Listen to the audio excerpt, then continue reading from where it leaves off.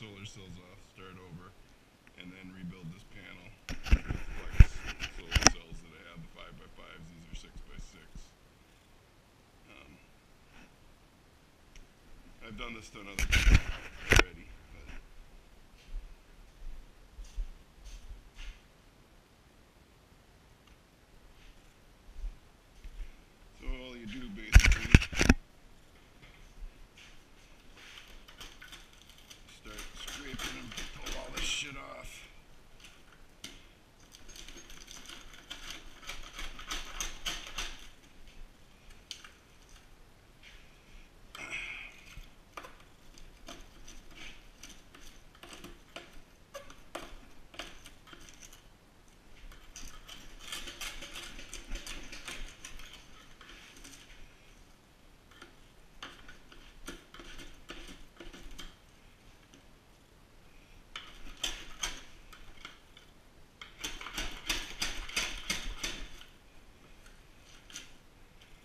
Just a pain in the ass because everything's resined in.